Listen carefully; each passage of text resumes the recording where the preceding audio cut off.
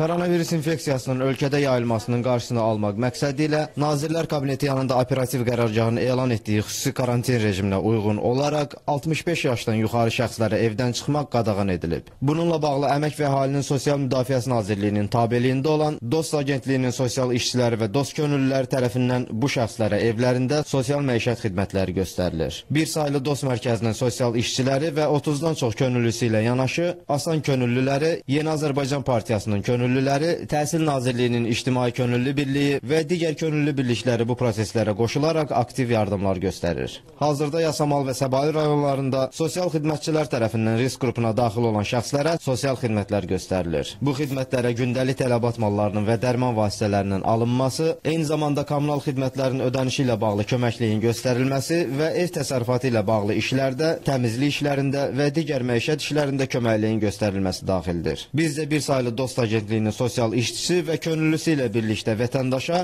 ərzaq və dərman vasitələrinin alınması prosesində iştirak etdik.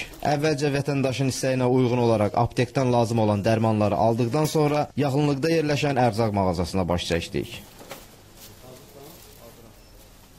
Buradan da lazımlı ərzaq məhsullarını alandan sonra vətəndaşın evinə yollandıq.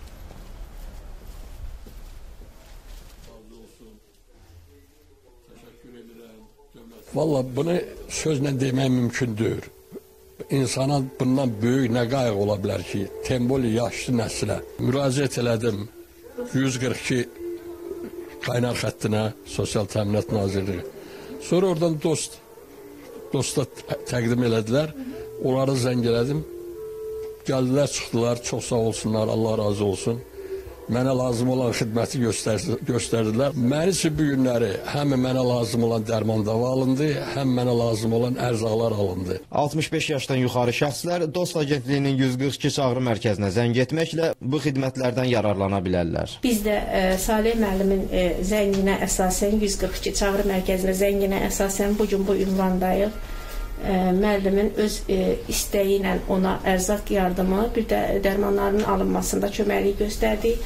Bir saylı könüllü dost mərkəzinin işçisi könüllümüzlə müəllim bizi çox səmimi qarşıladı, çox gözəl qarşıladı. Ona xüsusi təşəkkürlərimiz var. Yəni biz xalqımızın xidmətindəyik hər zaman. E, böyüklərimizə e, dəyər vermək, onların qayğısında durmaq e, biz Azərbaycan gənclərinin də əsas ə, vəzifə borclarından biridir. Biz könüllər bununla fəxr edirik. Qeyd edək ki, bundan sonra da karantin dövrü ərzində sosial məişət xidmətlərinin həyata keçirilməsi davam etdiriləcək. Hazırda yaşı 65-dən yuxarı 10 mindən çox vətəndaşa evlərində sosial xidmət göstərilir.